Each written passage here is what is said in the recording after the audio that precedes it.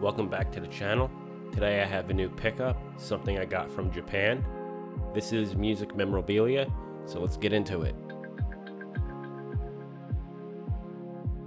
This is how it came, and inside we have a magazine. This is an Inrock magazine sold in Japan, and how I got my hands on it was through a YouTube post, and I said I want to get my hands on it, and I don't know if the camera's picking it up clearly, but this is a November issue.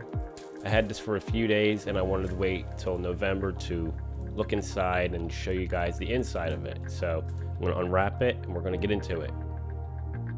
All right, now that we're back, here's the magazine and it is a double-sided cover art. And one thing I want to show that was pretty cool, if this is true, 800 yen, that's very, very cheap for what this magazine is. Rather premium for what I'm used to. I think the last magazine I bought was like 18 bucks and this trumps it. So we're gonna get inside, we're gonna go on this side first and then by the back, I'll show you a few things. There is a poster inside that I'm to put to the side and show you guys later on in the video. All right, so we're going to start on the Taylor side. I'm going to zoom in a little bit. This magazine is rather large compared to ones I have. But on the inside right here, we have, this is the different issues for the year. And then right here is what the uh, magazine has inside.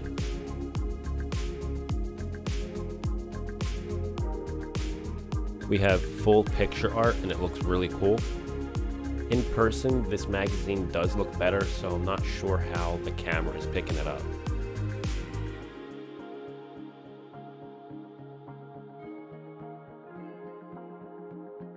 I believe that's from Vampire. And this is a magazine based off of Western music, so you're going to have all different artists. So it's not just the two artists that are on the cover.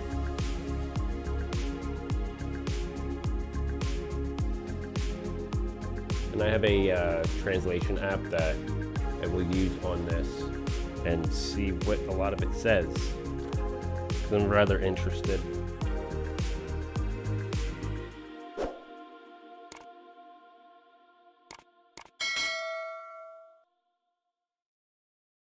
talks about the Eras tour.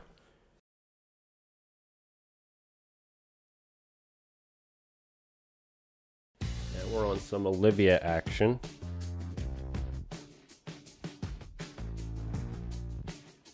Ooh, this right here in the corner. This I might have a review for. Gotta stay tuned.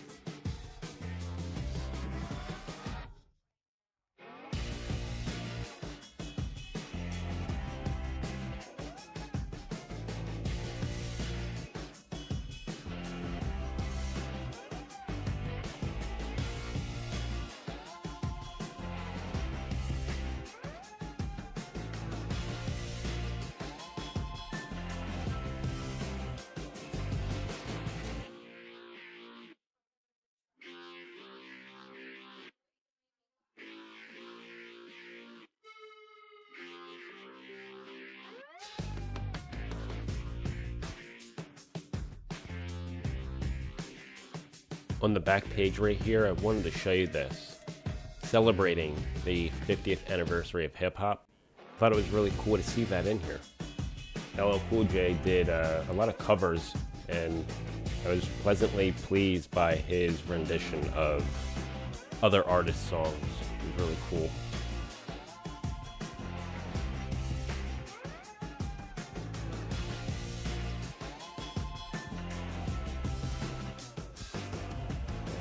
Is the back cover. So you can see with the size difference right here, I would say the Inrock magazine, even though it's slight, that vertical difference of extra room gains more picture and literature, comparing it to a standard American issue magazine. That difference I noticed right away when I got it in hand. So this is the one side with Selena Gomez and Taylor Swift.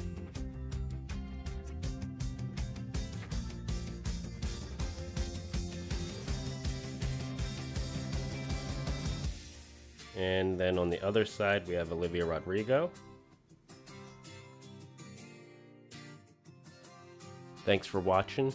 Leave your comments down below, and I'll see you in the next one.